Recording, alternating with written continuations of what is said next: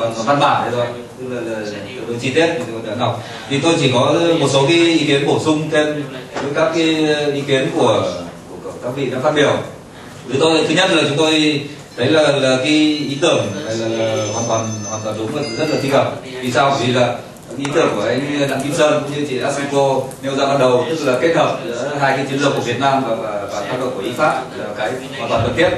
Ờ, vì sao? Thứ nhất là chúng tôi vừa rồi có tham gia midterm review với lại hoạt động của, của y pháp ở Hà Giang.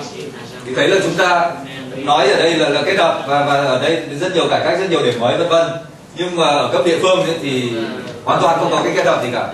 Đấy là cái cũng là tôi nghĩ là cái thách thức của chúng ta là làm thế nào để, để đưa được cái cái cái, cái, cái ý tưởng kết hợp ở trung ương hoặc là cấp vĩ mô của chúng ta thảo luận chính sách vào đến cấp tỉnh tôi xin nói thêm một đồng đồng ý chị Hiền tức là tôi nghĩ là hoạt động của y pháp thì dùng công cụ là nông nghiệp để thúc đẩy đó giảm nghèo không phải giải quyết toàn bộ vấn đề phát triển nông thôn mà đó giảm nghèo được y pháp là phát triển nông nghiệp. Theo như cái tài liệu. Và rõ ràng là ví dụ như vấn đề cơ sở hạ tầng thì không thể để có những cái cơ sở tầng lớn chỉ làm những cơ sở rất nhỏ phục vụ cho phát triển nông nghiệp. Ờ, nhưng mà rõ ràng là ờ, nếu mà chúng ta đưa cái tiếp cận là thị trường và value chuỗi giá trị thì kết hợp với các cái dự án cơ sở ở tầng của địa phương ví dụ như 135 là cần thiết. Nếu như mà hiện nay ở, ở cấp địa phương thì chúng ta chưa có được cái điều này tôi muốn nói là gì? Tức là là cần phải có một cái hệ thống thể chế cái ý tưởng mục tiêu 4 của của văn bản chính pháp. Chúng tôi xin à, tôi có ý luôn để là chiều nay tôi trình bày.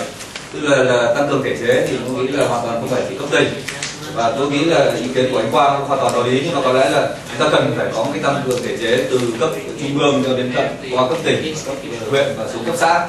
Ờ, và tôi, việc đầu tiên là tăng cường năng lực cho các cấp. Chúng tôi thấy là hiện nay hiện trạng của y pháp tuyên quang à, hà giang ấy là có rất nhiều tiền nhưng mà không tiêu được. Thì đấy là cái, cái hiện trạng. Và đấy là, là của 5 năm vừa rồi. Và tôi nghĩ là vấn đề đấy chưa giải quyết được thì 5 năm tới đấy chính là giải quyết được là vấn đề mới đấy. Tức là gì? Tức là và hai nữa là gì? Tức là uh, tại sao lại không tiêu được tiền? Thứ nhất là tôi nghĩ là thiếu thể chế. Tức là chúng ta vẫn dùng các cái thể chế cũ. Các cái chính sách của địa phương rất ít thay đổi. Cũng như ở đây thì có thay đổi cấp địa phương thì chúng ta giao hết công việc cho cho cho cấp xã và nông dân làm. Nhưng mà cấp giữa thì hầu như rất ít thay đổi. Và ngại thay đổi.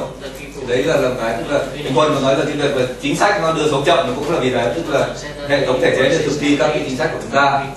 Vậy thì chúng tôi đề nghị là trong giai đoạn tới, thì y pháp nên tập trung vào một số tỉnh và chỉ thử nghiệm cả cái hệ thống thể chế theo chiều rộng thể chế đây là bao gồm văn bản chính sách cả các vấn đề tổ chức.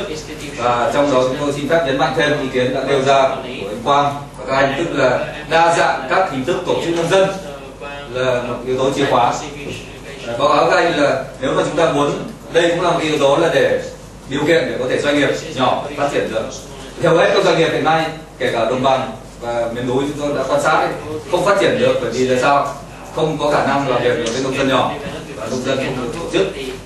Những ờ, yếu tố nào đơn vị nào mà có khả năng làm việc việc này ví dụ như cũng nhà máy đường Nattenline ở Hà Tĩnh hoặc là như sông Lam ờ, Thanh Hóa. Doanh nghiệp hợp tác được với các nhóm tổ chức nông dân thì sẽ thành công. Đấy là tôi nghĩ là và tuyên quang cũng như vậy. Như là các doanh nghiệp chè hiện nay doanh nghiệp nhỏ và trung bình ấy, thì nếu mà hợp tác được và biết cách tổ chức nông dân lại để cung cấp dịch vụ đầu vào thì là sẽ hoạt động được. Còn nếu không thì sẽ không hoạt động được.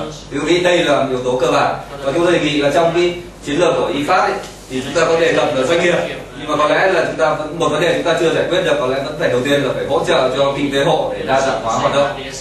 Là ví diversification. Cái này mặc dù có thể là cũ rồi nhưng mà có lẽ là ở đây vẫn cần phải đưa ra yếu tố hàng đầu vì chúng ta chưa giải quyết được triệt đề và nó cũng là cơ sở để chúng ta có thể lựa chọn được một số ngành hàng ta cũng đồng ý các ý kiến đã phát biểu, tức là ngành hàng không thể phát triển khắp nơi ở miền núi là phải lựa chọn. Và lựa chọn thì đa dạng hóa à, hoạt động kinh tế hộ nó sẽ cho phép chúng ta lựa chọn những cái ngành hàng có tiềm năng để chúng ta có thể thử nghiệm và phát triển được. Và tôi xin hoàn toàn nhấn mạnh là à, cái tốc độ mà chuyển đổi à, cơ cấu lao động ở miền núi, chúng ta phải, đây chúng ta đang thảo luận là 5 năm thôi, kế hoạch 5 năm. Thì như vậy là cái tham vọng có lẽ chúng ta phải đạt cái tốc độ chậm hơn là các bạn không không thể đi nhanh được kể cả vấn đề tiếp cận thị trường và phát triển doanh nghiệp. Đấy, thì, thì nó mới dễ dàng đạt được. Thì tôi nghĩ là miền núi làm có làm được không? Tôi khẳng định là chúng tôi đã tham gia thử nghiệm uh, lý thuyết lẫn thực tế về vấn đề phát triển ngành hàng ở miền núi thì hoàn toàn có thể làm được. Đã có những trường hợp rất thành công. Đấy, nhưng mà uh, tốc độ nó phải chậm hơn vì vấn đề thay đổi thể chế vì vấn đề ờ, thúc đẩy tổ chức nông dân. Và chúng tôi xin nhấn mạnh là cần phải có cái nghiên cứu trợ giúp chúng tôi thấy là trong cái giai đoạn một ấy, thì rõ ràng vai trò của các viện nghiên cứu với các cái dự án của, của, y pháp này rất là nhiều. Đặc biệt là trường công nghệ ba cái ví dụ như là tuyên quang thì giai đoạn đầu có tham gia nhưng mà uh, sau đấy không tham gia. Và cuối cùng không ai đưa ý tưởng mới vào được cả. Thì rõ ràng là là cái, hạn chế. Tôi nghĩ là hợp tác giữa các cơ quan nghiên cứu hoặc là thông qua các cái hình thức hiện nay thì chúng tôi nghĩ là y pháp cũng đang triển khai tức là các cái dự án nghiên cứu uh, mà cho không như là dự án Supersan thì chúng tôi đang làm thực hiện các cái công cụ về tiếp cận thị trường cho nông dân nghèo miền núi và sau đó phổ biến cho các tỉnh. Tôi nghĩ hoàn toàn đây là cái cách làm tốt và có lẽ cũng phải phải nhân lên trong thời gian tới. Tức là thì thì thì, thì, thì nó mới có thể phát triển được. Một cái ý tưởng nữa mà của y pháp có đưa ra mà tôi nghĩ đây là ý tưởng mới tức là, là, là, là vấn đề môi trường. Vấn đề môi trường để và, và thậm chí là thu tiền từ vấn đề môi trường từ cái dịch vụ môi trường mà do đồng bào miền núi làm. Thì cái này cũng là một cái thách thức lớn. Ờ, mà chúng tôi nghĩ là, là, là có lẽ là trong cái ờ, cái này có thể kết hợp được với cái việc là phát triển các cái ngành hàng đặc sản và bản địa của địa phương thông qua các cái ở miền núi có rất nhiều cái tiềm năng. Ờ, và nó không không liên quan đến vấn đề tức là ngoài vấn đề an ninh lương thực thì vẫn ở trên đất dốc trên tài nguyên rừng chúng ta có đa dạng hóa sinh học. Và hiện nay là nếu mà không tác động thì hiện nay nó đang mất đi. Thì đây là một cái cơ hội. Chúng ta có thể là là khai thác được. Và khai thác được vấn đề các cái ngành hàng đặc sản này thì nó sẽ cho phép tức là có cái lợi thế cạnh tranh của miền núi không giống với đồng bằng. Hai nữa là uh, cho phép là thông qua đấy để người tiêu dùng trả cái chi phí về môi trường.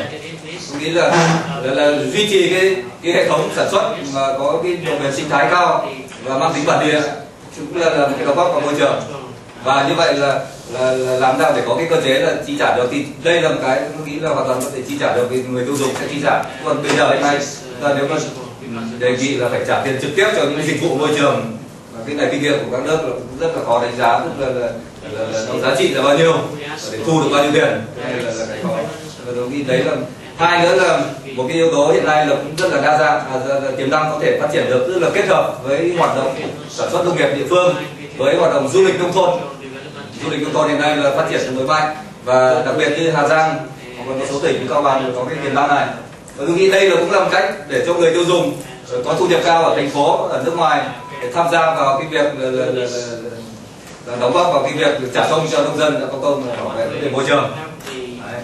và tất cả những việc này tôi xin quay lại là nông dân phải được tổ chức và sản xuất năng lực. Đấy thì tôi xin có một cái ý kiến thêm là thế này thôi tức là rõ ràng là về mặt chính sách ấy, thì ờ, đề nghị là, là, là y phát bổ sung thêm một loạt những cái chính sách liên quan đến các các các ờ, thúc đẩy các tổ chức nông dân như là nghị định 151 về tổ nhóm rồi luật hợp tác xã rồi thậm chí cả luật hội sắp tới để chúng ta có thể là đẩy mạnh cái chuyện này. Thì chúng tôi nghĩ là ở đây là cái mà quân văn cũng đã, đã nhất trí là trong giai đoạn tới không thể thiếu được trong vấn đề phát triển ngành hàng toàn bộ. Và chúng tôi cũng xin nói thêm tức là đây có anh giao các anh giao sẽ phát biểu tức là vấn đề đào tạo và phổ biến pháp luật. Tất cả những cái văn bản xuống thực đến nông dân là, là vấn đề cực kỳ quan trọng. Nếu không thì không ai biết kể cả các các